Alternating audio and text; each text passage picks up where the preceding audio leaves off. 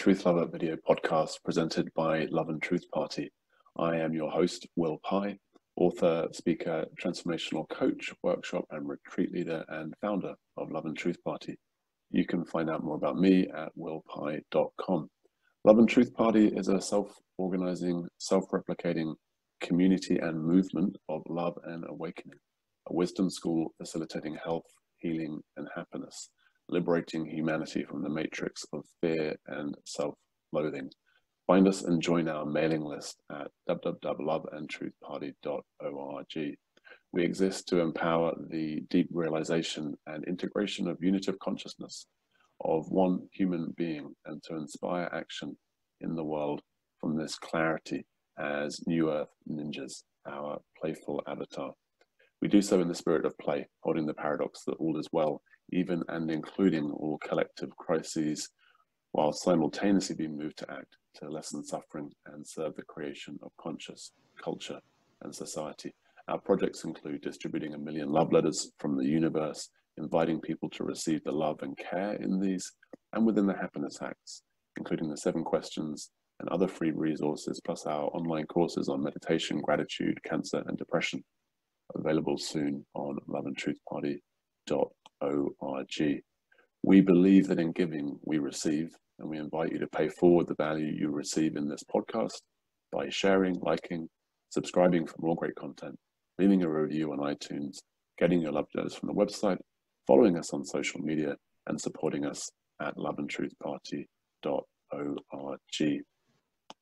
Today, I'm really delighted to be joined by a special guest, Rob Schwartz. Rob is a hypnotist who offers between lives soul regressions to help people heal and understand their life plan. In this form of hypnosis, you can discover what you planned before you were born, why you made those plans, how you're doing in terms of fulfilling your plan, and how you may better fulfill your plan. His first book, Your Soul's Plan Discovering the Real Meaning of the Life You Planned Before You Were Born, explores the pre birth planning of physical illness, having disabled children, deafness, blindness, drug addiction, alcoholism, the death of a loved one, and accidents. In addition to the subject of pets, his second book, Your Soul's Gift, The Healing Power of the Life You Planned Before You Were Born, explores the pre birth planning of spiritual awakening, miscarriage, abortion, caregiving, abusive relationships, sexuality, adoption, poverty, mental illness, and other challenges. You can visit Rob online at www.yoursoulsplan.com or write to him at rob.schwartz at yoursoulplan.com. Rob, it's great to have you on the show. Welcome to The Truth Lover. Thank you, Will. It's a pleasure to be here with you. Um, we selected a, a, a, title, a way to start our, our dialogue today.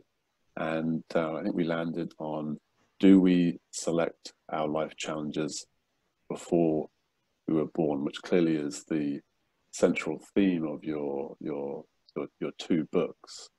And I think it would be fair to say that our listeners, our viewers, would have some idea of soul, would have some idea, therefore, of selecting life plans.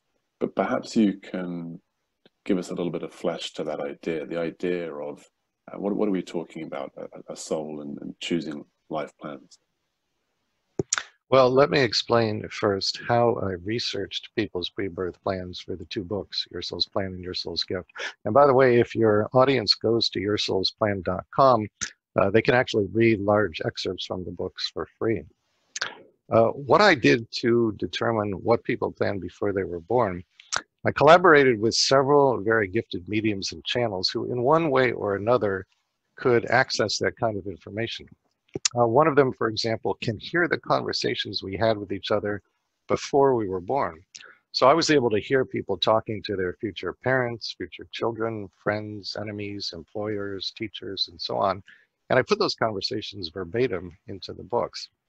Another one of the mediums can talk with the deceased uh, another one can channel a person's soul, a person's higher self. There's another who channels angels, some of whom serve as guides to people once they come into body. And in the new book, uh, the second book, Your Soul's Gift, Uh, there are two new colleagues. One channels an ascended master who uses the name Aaron, which was his name in his final incarnation on Earth. He has access to the Akashic record, so that's how he finds out what somebody plans before they were born. And the other new colleague in Your Soul's Gift is a channel in the Netherlands who channels Jesus. And that gave me the extraordinary opportunity to talk to Jesus directly and ask him what did somebody plan and why did they make those plans. So the methodology is that I interview somebody about a very common life challenge, and it's all the most common things we face here, the ones you listed, uh, because I wanted the books to help as many people as possible. And then that person has one, two, sometimes three sessions with the mediums in which we ask spirit, did this person plan this experience before birth? And if so, why? And then in the books, I present all the information that came through. Now, since the second book came out, uh, I became certified uh, to offer between lives soul regressions. That's the field of life between life regression that was pioneered by the American hypnotist Michael Newton back in the 1990s. He calls it an LBL or a life between life regression. I call it a between life soul regression, but it's the same thing. Uh, it's, as you said in the introduction, a form of hypnosis in which somebody can talk to spirit directly so it's a direct experience. You're no longer relying on a medium to access information for you. And you speak with very highly evolved, loving beings who know what your life plan is and can answer literally any question you ask about your life. So people come out of those sessions and they say things like, I have no more questions about my life. They answered every question I have. Uh, the other really notable thing about a between life soul regression people talk to uh, what is known as the council of elders. Those are the, the beings who know what their life plan is. And the council consists of beings who are unconditionally loving and completely non-judgmental. So people will make comments like, uh, the sense that the council knew literally everything about me, including all the bad things I've done in my life, and yet I could feel that they loved me unconditionally. And, you know, for the average person, that's the first time they experienced that kind of unconditional love since they were back on the other side. So it's very much a homecoming in some ways. It reminds people of what life on the other side, which is our true home, is really like. And that can really renew somebody, restore their faith in the goodness of the universe, and inspire them to complete the plan that they created before they were born. I can imagine that's a joyful process to to witness and facilitate it's a very joyful process you know i i actually used to be in the corporate sector uh, believe it or not i have a master's in business which i think is pretty unusual for somebody who's doing what i'm now doing and that kind of work i found to be very very unfulfilling i did that for a long time and it brought me no joy at all and that was really what led me to seek out the kind of work i do now I just couldn't take it anymore. I had to do something that was actually meaningful that I felt was really contributing to the quality of people's lives. And I prayed about it, I meditated about it, I asked Spirit for assistance. I asked God, what do you want me to do? Just tell me, cause me to know somehow, and I will be happy to do it. And that is exactly what happened. I, I was caused to know, so to speak, that this was my pre birth plan. And once I knew that, uh, I was quite enthusiastic to embark on that path and also to leave behind the corporate world that I had been in for so long. How long ago was that? How long have you been walking this sort of more uh, authentic, true life path for you? This path started for me back in 2003.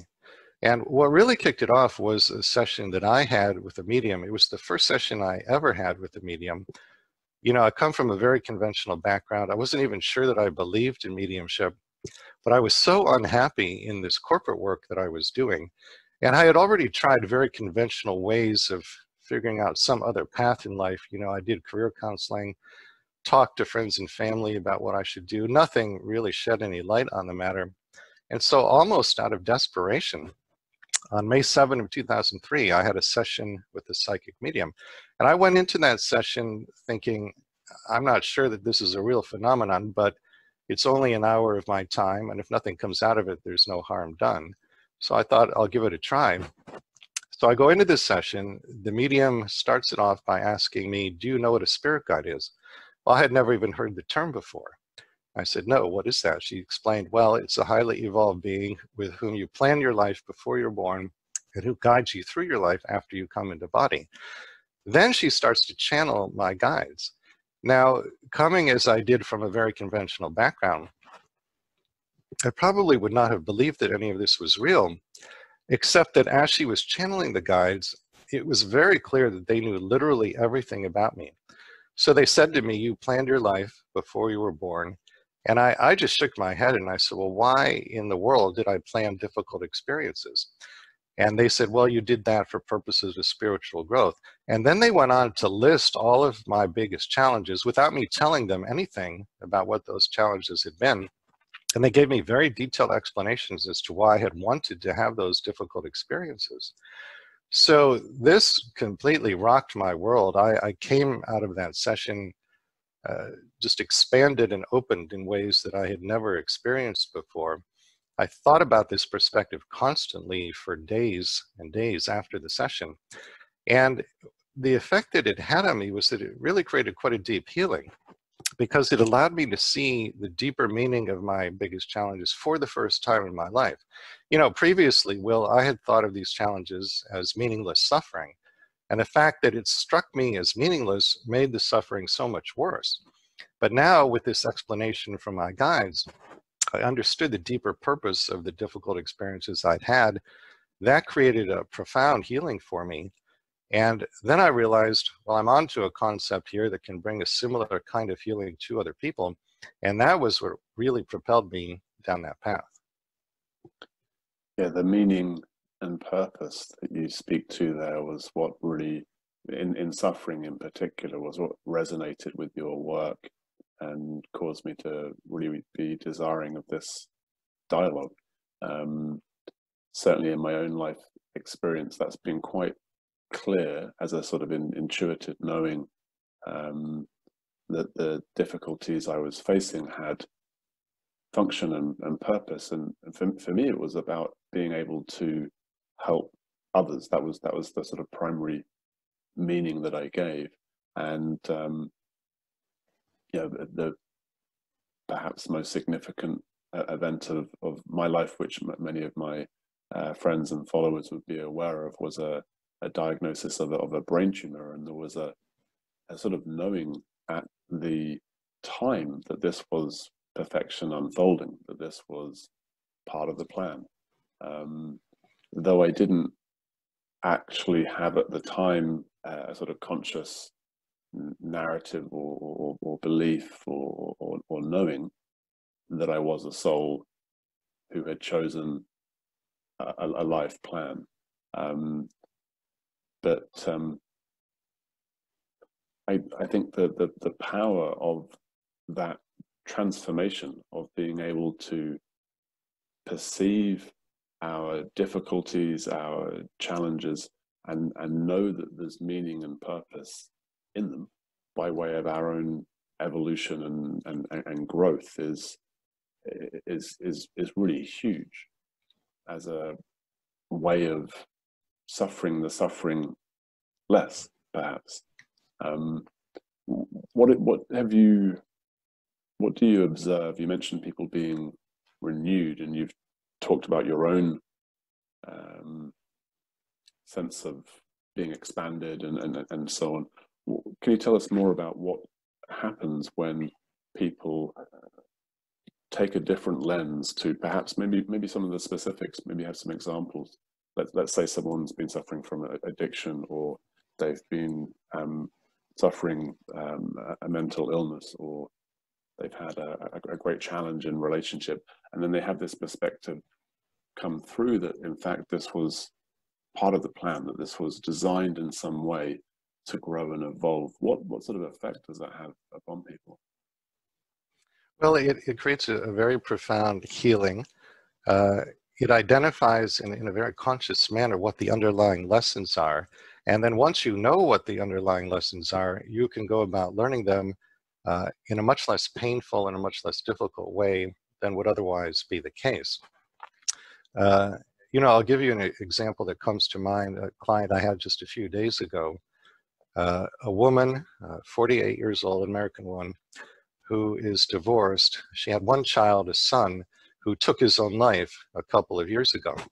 So she did a between lives soul regression with me. Uh, we went through, uh, we start with a past life regression. So she went into a past life where she was with her son and found out some interesting things about their past life connections. And then uh, the client leaves the death scene in the past life. They leave the body in the death scene and cross back over to the other side, which I, I realize might sound a little bit ominous, but there's actually nothing to it. It's quite easy, natural, and gentle. And probably anybody listening to this interview has done it hundreds, if not thousands of times already. So when the client gets back over to the other side, generally they're met by one of their guides. Uh, so this woman was met by a guide she talked to the guide briefly about why she was shown that particular past life. And then the guide took her to the Council of Elders. Now, one of the things that very often happens when people get to the council is that if there's some unresolved issue uh, with a loved one who has transitioned back to the other side, they will bring the loved one into the client's meeting with the council. So this happened for this woman. They brought in her son who had taken his life just a couple of years earlier. She and her son had this very loving, uh, profound, tearful reunion. Uh, they got to see each other again. They got to embrace etherically. She was able to tell him how much she loved him and missed him. He was able to say the same thing to her. And then she was able to talk with him about why he had taken his life. And the most healing aspect of that part of the conversation was that he was able to tell her in very clear terms, it had nothing to do with you. You did not fail me as my mother. You did nothing wrong. You were a great mother. As this was issues of my own that I just wasn't able to resolve successfully. And she understood quite clearly that she was not responsible. Uh, but previously, of course, she'd been blaming herself. So by the time the session was over, she was almost a different person. And mm. she said to me at the end of the session, after she came out of the trance state, for the first time in two years since my son took his life, I don't feel any emotional pain right now. I feel like all the pain is gone. So it was a profound healing for her. And that, that's the kind of thing that happens quite commonly in a between lives soul regression. The turnaround there is quite phenomenal. I mean, in that example, you've got someone, if I'm feeling it correctly, that would be in immense guilt. And this new meaning allows perhaps even a sense of um, contentment that they've actually contributed through going through that ordeal. They've contributed to that individual, that soul's um, growth, that, that, that opportunity to, to go through that experience. Um, I'm intrigued if you can say more about suicide because that's a topic that is fascinating uh, to, to, to, to, fascinating to the mind, to the intellect, um, a cause of great pain for people that have experienced loved ones who've taken their own life. And within the context of a soul's plan, you know, if, if our suffering is opportunity for evolution, for growth, um, why would we volitionally leave the body? Why would we abort the mission, as it were? So there's an entire chapter in my second book, Your Soul's Gift, about the pre-birth planning of suicide. And the person I'm talking with in this chapter is an American woman named Carolyn. Uh, her only child, a son named Cameron, took his life right after he graduated from high school. Uh, he actually hung himself from a rafter in Carolyn's attic, and she was the one who found him. She came home, found his body hanging there, and she actually had to climb up on a ladder and cut the rope and take down her son's body. So, tremendously tragic uh, and painful event. She and I worked with the uh, channel I mentioned earlier, who channels Jesus. So toward the beginning of the channeling session, uh, Cameron, Carolyn's son, comes in. And he assures her that he's fine. Uh, he assures her that it was not her fault. She had done nothing wrong. He talks about how when he was here in body, he was very depressed and very anxious. so much so that he was not able to feel his love for his family or his family's love for him. Uh, and he just couldn't find any solution to the depression and anxiety, and so he the only option he saw for himself was a suicide. Then he steps aside and Jesus comes in. And I start off the conversation with Jesus by asking him, Is suicide planned before we're born? And he says, It is never planned as a certainty, but it is planned as a possibility or sometimes a probability, or rarely a probability so high as to be almost certain. And then he says this was the case with Cameron. And he explains that Cameron was bringing back into body unhealed energies from past lives for the purpose of healing them. And he knew before he came into body that these unhealed energies would cause significant depression and anxiety. And so it was foreseen in his pre birth planning session that a suicide was actually highly likely. Now, you might ask, why would any soul undertake a plan like that? Well, some souls are very ambitious. They want to resolve a lot in a single lifetime. And this was the case with Cameron. He wanted to bring in all these unhealed energies from past lives and heal all of it in one lifetime. Also, our perspective is very different when we're back on the other side planning a life. One of the main differences is that you know that nobody is permanently harmed by anything that happens here. So you also know that a lifetime is very brief and that any learning, any wisdom that comes out of it becomes part of you for all eternity. You may or may not know any of those things when you're in body, but you know them quite clearly when you're planning a life. So from that perspective, that a lifetime is actually very brief. No one is permanently harmed by anything that happens here, and yet the wisdom becomes part of you literally for all eternity. From that perspective, it actually does make sense that some souls would choose to take on very great challenges, even if the likelihood of success was not all that high. So Cameron made that pre-birth choice. Now, what's really interesting about the suicide chapter, uh, and I will actually mention it's pages 410 to 411, those two pages contain what I feel is perhaps the single most healing piece of information I've come across in all the years I've been looking at pre people's pre-birth plans. And what happened as I was writing the suicide chapter, you know, whenever I'm writing any portion of a book, I try to be very mindful of the information that comes across my desk because I know if there's something I'm supposed to be aware of so that I can put it in a book and make other people aware of it, Spirit will find a way to get the information to me. And this happened while I was working on the suicide chapter. I became aware of a, a, wonderful book by an American author named Irene Kendig. It's called Conversations with Jerry and Other People I Thought Were Dead.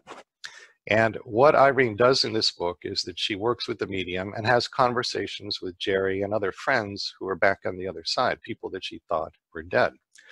So in one of her conversations with Jerry, the topic of suicide comes up.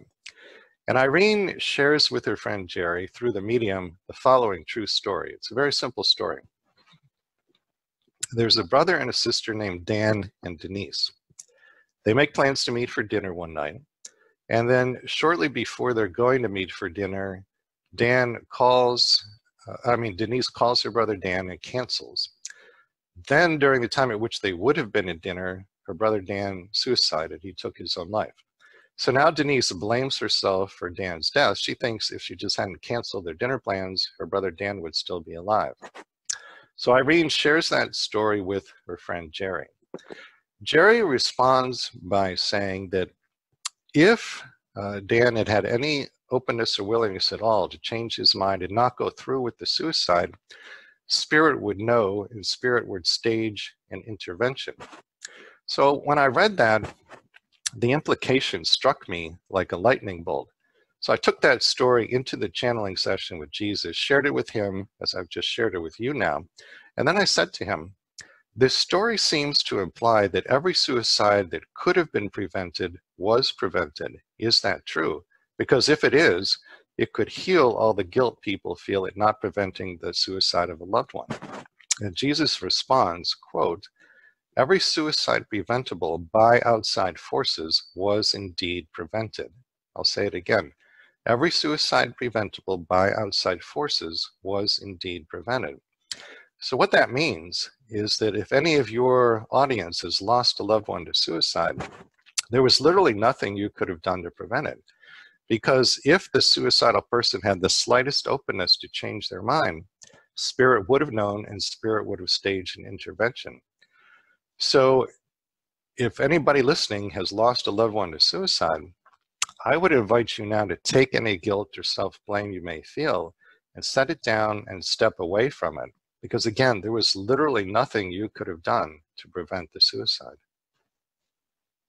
So from a, a soul's perspective, suicide is one experience or way of bringing an experience to an end, not good nor bad, but uh, a sort of device within life experiences. Is that is that fair to say from your observations? That is fair to say, and this is something that is hard to to wrap a human mind around. But from the soul's perspective, nothing that happens on earth is judged as good or bad. All experiences are viewed as neutral and as learning opportunities, opportunities for evolution. So at the human level, we have all kinds of judgments about what is good, what is bad, what is right, what is wrong. The soul does not think like that. In fact, to say that the soul thinks is really a, a misstatement in its own right. The soul is, is basically operating on feeling. Feelings are the language of the soul. There's no judgment about suicide or anything that we do here. Uh, and if somebody does take their own life and they don't complete whatever it is that they planned before they were born, the soul does not judge the personality. The soul's attitude is simply, this is incomplete. There's a sense of incompletion. Let's try again and finish it, perhaps in the next lifetime. But no judgment at all. And I think a question that's coming through that I imagine would be present for many is, and in fact, a friend asked me this the other day, what's the overall point or purpose of all this? Is it uh, an eternal expansion into greater wisdom? Because we're talking, of course, about the purpose of a particular life that may be around uh, healing particular energies or um, actually let, let, me ask a question there perhaps before we get into the the, the, the meaning of life the um, purpose of a particular life would this include perhaps um, to gain a particular insight? And i'll just frame that question if i may.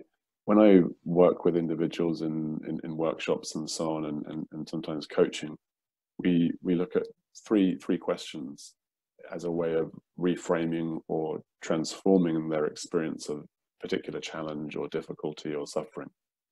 And the questions are, what is the hidden gift here? What's the opportunity? And if I had somehow created this in order to learn uh, a pearl, a, a really powerful wisdom piece. What is that pearl? And I guess I'm interested to what extent that appears valid as an inquiry that we might create a particular difficulty in, in order to learn a specific, to, to embody, to have the experience of a specific value or, or insight or, or, or wisdom. So over a period of years, uh, as I researched many, many people's pre-birth plans, and in particular, uh, went into people's pre-birth planning sessions and heard the conversations that they had when they were planning their biggest challenges. One of the things I started to notice was that a lot of the conversation at the soul level revolved around a desire to cultivate and then express while embody certain qualities that are important to the soul. And I gave these qualities the name divine virtues. And over a period of time, I put together a list of the ones that came up the most often. I think there's now 28 on the list. It's things like compassion, unconditional love, empathy, patience, self-love, uh, and so on. The desire to cultivate and express one or more of the virtues is one of the main reasons we plan our biggest challenges. So when you talk about what is the gift, the gift would be the cultivation of one or more of the virtues when you boil all of the virtues down, what you really get as a bottom line is that we are here to learn lessons in love. specifically how to give love and how to receive love. Both are equally important from the soul's vantage point. But that's really the bottom line as to what we're doing here on the earth plane. And challenges are often seen as giving both the motivation and the opportunity to cultivate the virtues and learn the lessons in love. I love that the, the, the motivation and the opportunity that speaks really pertinently to my experience of the diagnosis. There was a sense, on the one hand, there was the, the, the motivation to get on and uh, write the books and share what I'm here to share. Um, and the opportunity as well. There was a, a, narrative now, there was a story blessed with a brain tumor that just sort of tripped off the tongue for me. And um, the function and purpose of that device, if you like, that that that experience of of being reminded of one's mortality, that this body comes to an end, was was was pretty clear. Um, that's fascinating. The twenty-eight divine virtues, and I'm interested as well. There's a great resonance for me in hearing this, um, giving and receiving love. We often might be more inclined to give value to or emphasize the importance of, of being loving, of being kind, of, of giving love. And um,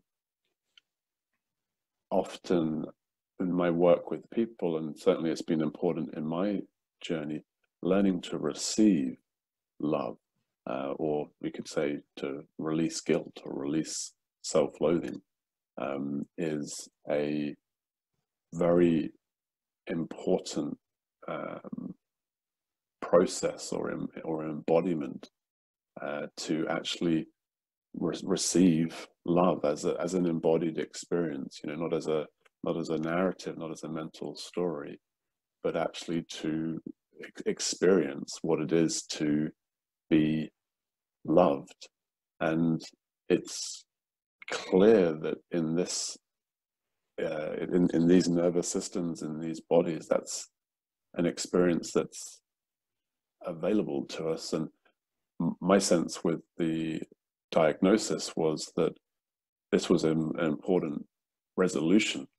Um, if, if I was going to stay in this body and uh, not die from the brain tumor, then to uh, to, to, to be receiving love, to actually be in the embodiment where the, the, the cells, including the cells in my brain, there's a, a, a, an embodiment of love as being truly healing. And um, you know, so so far that um, appears to be true in my experience, in that I'm still uh, alive beyond a time frame that um, you know, the, the, cells that they found in my brain would, would often indicate.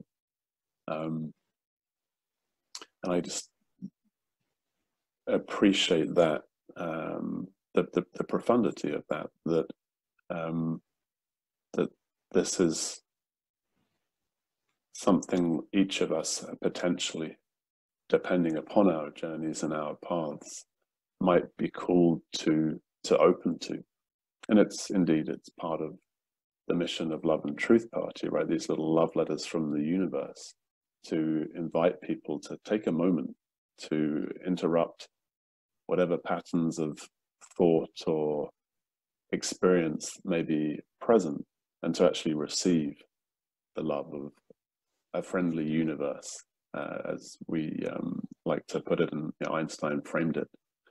And that feels to be, you know, going back to what you were saying, a, a frequent outcome perhaps of the um, or, or, an underlying meaning that would arise when people understand or have the experience of uh, their, their life plan and that deeper purpose and meaning is a is a is a deep knowing of the friendliness of of life of, of, of the universe that it's that it's ultimately a safe place in, including death well that's certainly one of the things i hope to accomplish with my work is for people to understand that when quote unquote bad things happen, it's not because we live in an unfriendly universe, it's because we live in a friendly universe and one in which we have free will.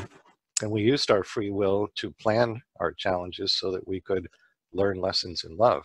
You know, the important thing I think for people to understand about giving and receiving love is that the flow of love in the world is circular in nature. Half the circle is giving love, half the circle is receiving love. So if you are somebody who does not allow others to give love to you, then you're blocking the flow of love in the world just as effectively as if you never give love to anybody else. And that's a really important thing for people to understand. You know, in my work, I've seen a number of cases now in which somebody had one or more uh, past lives in which they couldn't receive love from other people. And in response to that, they planned for the current lifetime to have a physical handicap, usually something that places them in a wheelchair, so that they quite literally cannot run away from love in the current lifetime. It's that important. So that's a profound thought that an individual would choose an immobility in order that they're compelled to have a day-to-day experience of being cared for and looked after in a, in a very immediate and embodied way by another human being.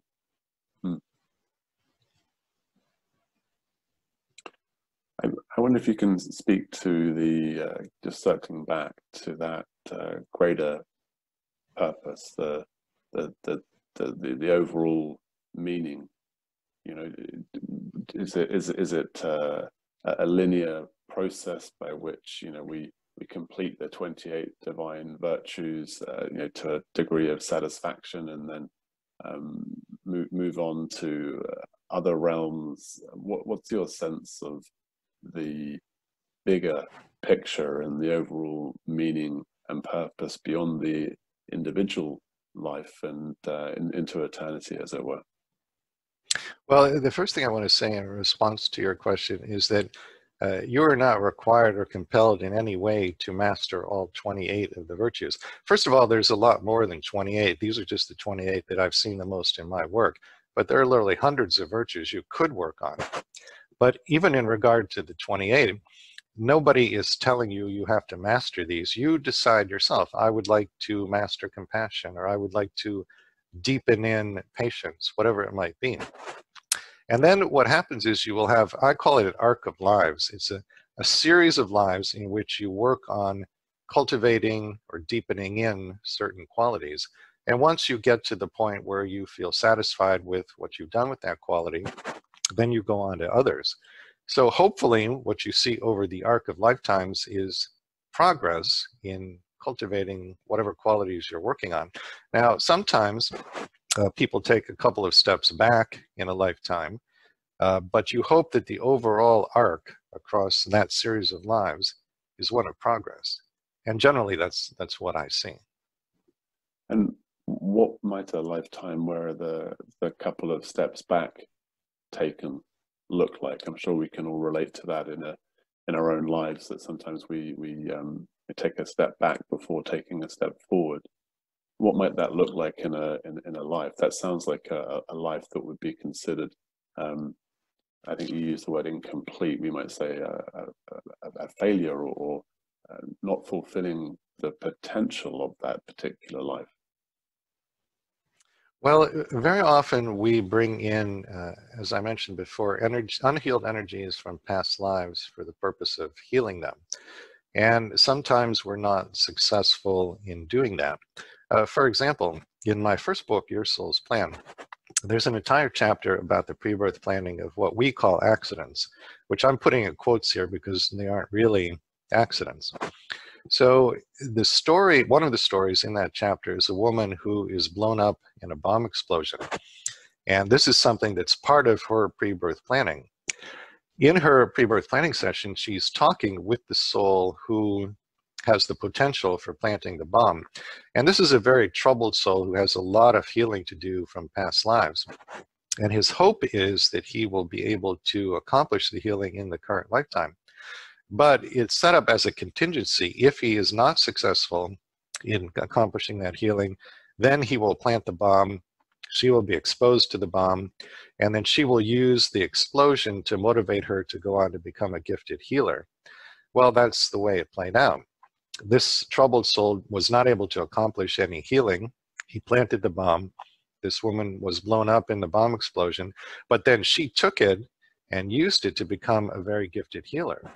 So his life plan did not go exactly the way he wanted, but he'll have infinite opportunities to, to, accomplish that healing. And she, on the other hand, did exactly what she wanted to do. She became a gifted healer in this lifetime and has changed many, many people's lives. And in that context, if we were to um, use some conventional languaging, the, the troubled soul um, committing an, an, illegal act, certainly. Um, some would say an, an, an evil act, uh, an act that's intended to cause harm to others. Yet, in this context, from this perspective, this bigger picture view, that evil is in fact contributing to expansion, to to to to, to growth in in the bigger picture.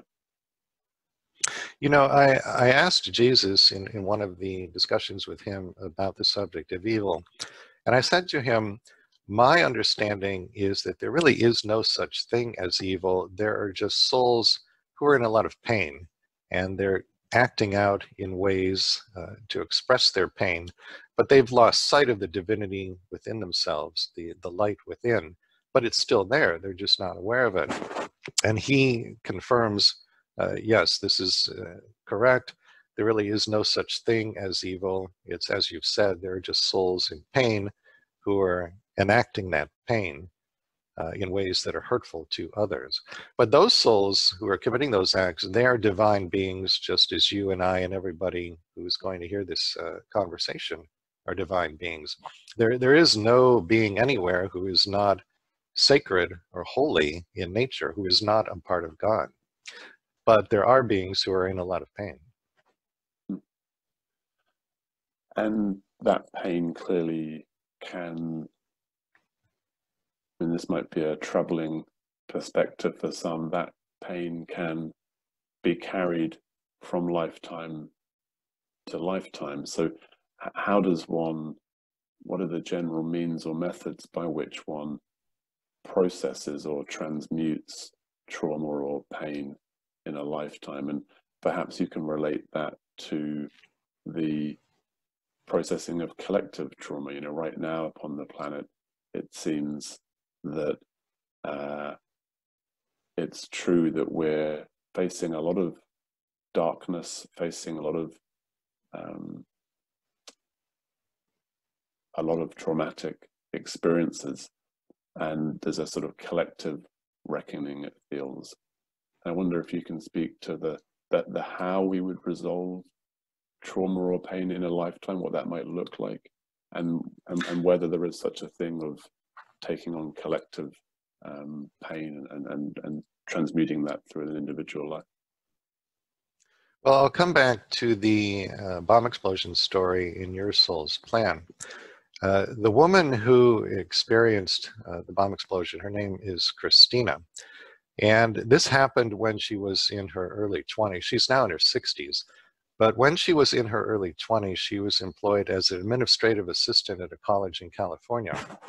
And uh, one of her daily duties in that job was to pick up her boss's mail. Well, the mailboxes were located in the basement of the building in which she worked. So she went one day down those stairs to the basement mailboxes, just as she had done dozens of times before. But on this day, unbeknownst to her, uh, a pipe bomb had been planted in her boss's mailbox. When she inserted her hand to pick up the mail, the bomb detonated. The explosion threw her against a concrete wall. Flames scorched her body from head to toe. She lost a couple of fingers, both eardrums were ruptured. Uh, when she got to the hospital, doctors actually had to hold magnets over her eyes to extract the shrapnel from the pipe. So here we have a level of suffering that is almost unimaginable to the average person. And as you can quite easily understand, she was very, very angry of and judgmental of the person who planted the bomb. So, how did she heal? Well, her recovery from the bomb explosion took about two years and 10 reconstructive surgeries. At one point during that two year period, she was lying in her hospital bed in a lot of pain when she suddenly heard a voice inside her head, a voice that was not her own. It turns out that the bomb explosion, in addition to damaging her body, had opened up her psychic gifts. She had become clairaudient. And the voice she heard talking to her that day in the hospital was one of her guides. The guide said to her, You planned this. And of course, she said, Why? And then the guide told her, and he said, you wanted before you were born to have a lifetime as a gifted healer. And you knew that if you could heal yourself from the effects of this bomb explosion, you would then be able to take all of that wisdom and knowledge about healing and turn it outward in service to others. Well, that's exactly what she went on to do. After the 10 surgeries were over, she went back to school. She got a PhD in speech language pathology and set up a private clinical practice working as a healer. At this point in her life, she's healed literally thousands of people. But over the years, she took that understanding of her pre birth plan that her guide gave her that day and used it to pull herself out of victim consciousness. You know, victim consciousness, as I understand it, is literally the lowest vibration a human being can be at. And it tends to be self perpetuating because when you believe that you're a victim, you vibrate at the frequency of victim. When you vibrate at the frequency of victim, you're stating energetically to the universe that you are a victim. Well, whatever energetic statement you make to the universe, the universe always responds in exactly the same way. It always responds by saying, Yes, that's right, you are. So if you state energetically to the universe that you're a victim, it says, Yes, you are. And it brings you more experiences that seem on the surface to confirm that you're a victim. The way to break out of that negative self perpetuating cycle is to come into the understanding, as Christina did, that you are the powerful soul who planned the explosion or whatever the challenge might be. So Christina really worked with her understanding of her pre-birth plan over a period of years to get herself to a place of forgiveness. She pulled herself out of victim consciousness. She saw the deeper spiritual meaning and purpose of it, and she forgave the person who planted that bomb. When I interviewed her for Your Soul's Plan, she said to me, I have completely forgiven the person who planted the bomb. Now remember, she had magnets held above her eyeballs in the hospital. And yet here she is saying with complete sincerity that she has completely forgiven the person who inflicted that kind of suffering on her. But you know, then she said something even more remarkable. She said, Rob, I am deeply grateful to the person who planted that bomb. And when she says she's deeply grateful, she really and truly means it. So here is somebody who took an awareness of her pre-birth plan, used it to pull herself out of victim consciousness and get eventually to a place of total forgiveness and total gratitude. Now, her story is unusual in that it's a bomb explosion, but she herself is not unusual. If she can do this after what she went through, then you and I and anybody listening to this conversation can do it in regard to our challenges. We can all use an understanding of our pre birth plan to get to that place of forgiveness and get to that place of gratitude. In terms of how you heal collective trauma or collective pain, it's essentially the same process, but it's done on a much larger scale. So, an entire country, for example, the majority of the people who constitute that country have to come into some kind of understanding that enables them to get to a place of forgiveness and ideally to a place of gratitude. That can take a lot of years, but we've seen it happen. If you think back to who was enemies with whom at the time of World War II, those countries are now, for the most part, friends with each other. So it can be done. And one way to do it is by understanding the pre birth plan. Hmm. So I'm hearing that correctly, a country or a, a collective of people might go through an experience collectively in order to shift the what it is to be German or what it is to be American or whatever it is. And is that that that sounds quite different from I think how people, at least as I understand it, often speak about healing collective trauma, which would be the idea that I might take on this body might take on particular pain or challenge in, in order as a way of uh, purifying or um, transmuting those particular energies such that others have to suffer less. It's a bit of the martyr story, it's a bit of the Christ uh, narrative in that. Do you have a sense of that being valid or perhaps a, a, a misperception of how this, uh, how, how these lives work? No, I, I, my understanding is that that is valid and it does happen just as you've described. Uh, you know, the focus of my research is primarily individual challenges, not collective or national challenges or karma. Uh, but I've seen what you just described on an individual level. For example, uh, early on when I was doing the research for my first book, one of the stories I looked at, which didn't uh, eventually end up in the book, was somebody who had taken on the karma of a murderer. This was a, a very highly evolved, very high vibrational soul who chose quite consciously to assume the karma of somebody who had committed a murder because he knew that he had the ability to transmute this karma. And so he was doing it in service to the murderer. Uh, and it resulted in quite a bit of suffering for him but he was in fact able to do it. So it, it's quite a beautiful gift to give to another soul if one is capable of doing it. I want to feel to draw back to something you touched on a few moments ago, and that's the shift from uh, victim consciousness to, we could say, creator consciousness. And it actually drew to mind a, a line in uh, blessed with a, a brain in my first book where I think I say something like, We're so powerful that we can even choose to have the experience of being disempowered, of sort of abdicating our creatorship and experiencing what it is to apparently be powerless, to be in victim consciousness. And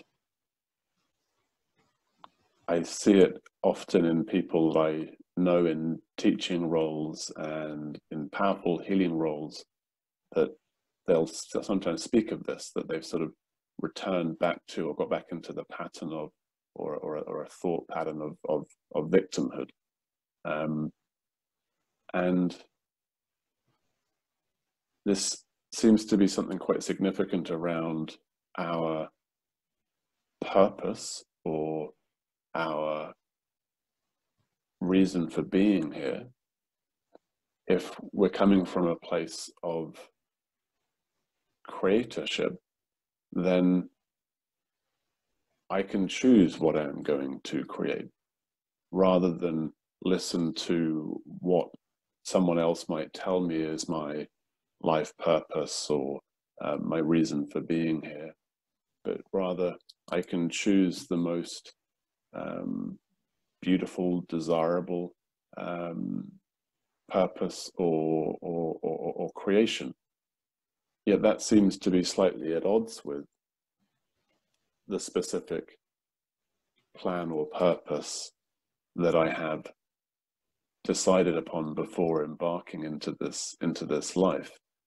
So I wonder if you can speak to that. Is there is it the case that that I have um, or anyone has truly infinite possibilities to choose from, paths to walk? Or rather, is it that this life would include discovering um, the, the, the, the, the potential that I'm here to fulfill? I think you you have an infinite number of choices of experiences before you come into body, before you actually have a life plan. But once you have a plan, once you come into body, then there's a framework, there's a structure that's in place uh, in which you have a lot of leeway, you have a lot of free will decisions to make. But there are certain parameters in place that you can no longer go past. For example, your choice of parents. Obviously, once you're born, then that's fixed. You can no longer change your choice of parents. Or if you choose before you're born, for example, to have a physical handicap that can't be treated by medical science in whatever time period you're incarnating, and you would know that before coming into body, then short of what we call a miracle, you will have that physical handicap for the duration of that lifetime. But most things are planned as possibilities or probabilities. They're not planned as certainties like the couple of examples I just gave. Uh, and one of the main reasons we plan challenges is to experience contrast. So you, you talked about how we're infinitely powerful, so much so that we can plan to experience being powerless. What I have seen in my work is that that is what a lot of life plans are actually based on. Uh, not the ex specific experience of powerlessness, but rather choosing some form of limitation which you hope before you're born that you will move beyond in the course of a lifetime. So that within one lifetime, you have the contrast between the limitation, whatever it might be, and then the experience of moving beyond it. That experience within one lifetime gives you as a soul a tremendous knowing of your inherent power, your inherent limitlessness. Uh, for example, the this whole idea comes up in the conversations with God books, which I'm sure you've heard of. And uh, God asks Neale Donald Walsch, the author of those books, to explain it using the analogy of the white room, which goes like this. Imagine that you are a white being in a white room. So you are white, the ceiling is white, the floor is white, all the walls around you are white. Everything in this room is white, including you. Now, if you are such a being in such a room, how do you know that you're white? Well, the answer is you don't. And in fact, you can't until you experience something that is other than white. Then once you've had that experience, you understand much more profoundly what it means to be a white being in a white room. This, I think, is what the soul is doing here on the physical plane. We are infinitely powerful, but because that's the only experience we're having on the other side, we don't fully understand what it means to be infinitely powerful. And so we come here to this place of limitation where we can experience who we are not, where we can experience the contrast. And by having the experience of the contrast, by the time we go home at the end of a physical incarnation, then we understand much more deeply what it means to be an infinitely powerful being. Does that make sense? It does. And I think that both uh, intellectually and in an embodied sense, it's easy to grasp that um, in order to know joy, for example, um, it helps to have first known what is not joy. And indeed, um, in, in my experience, and I think there are many teachings that point to the being a proportionality. So the further we go into uh, despair or darkness, the greater the the flip side, as it were, in terms of our capacity within the nervous system, within the, the, the range of contrast to experience delight and, and joy and so on. I think there's a beautiful Kahlil Gibran quote along these lines where he says that I'll probably butcher the quotes, I apologize, Kahlil, but it was something like, We, in our burrowing of despair, make the same grooves through which we'll come to know joy. And certainly that seems to be true. And in my experience, it seems that um, hopelessness and, and, and hope are given meaning via each other through a relationship with each other.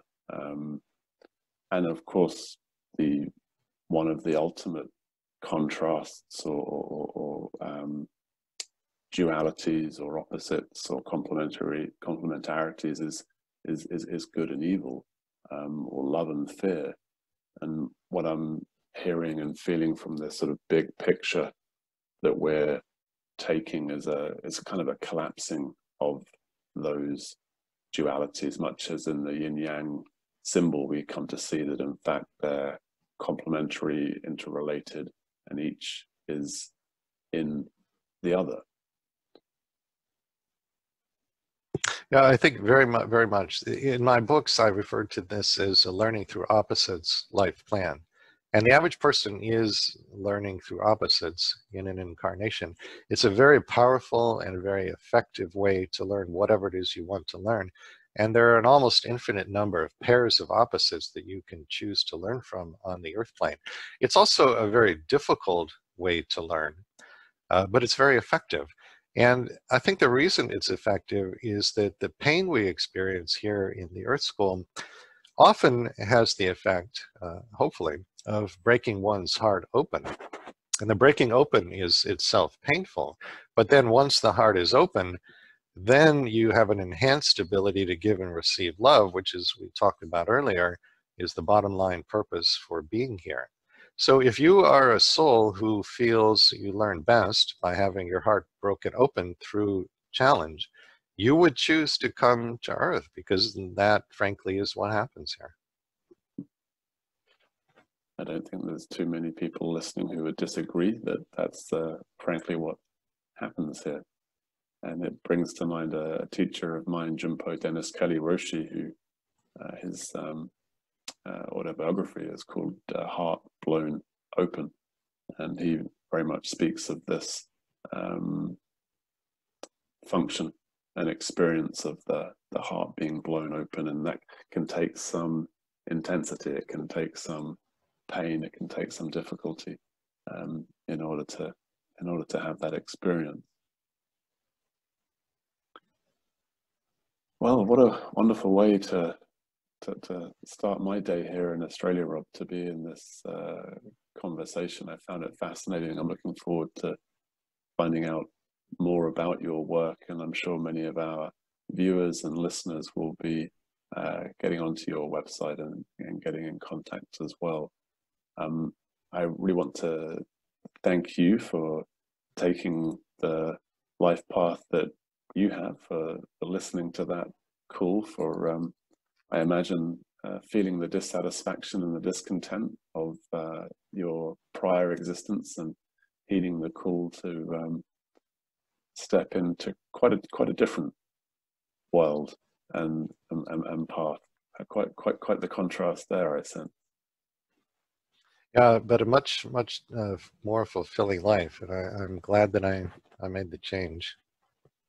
And I want to thank you for having me on and, and thank you more generally for having the podcast in the first place. I think it's a, a beautiful form of service for a world very much needed. And I'm glad that uh, you are embracing your pre birth plan and doing what you came here to do. Thank you, Rob. I appreciate that reflection, and uh, it's been a, a, a, joy to connect with you. So, thank you, and uh, I wish you wonderfully well. Thank you. You too.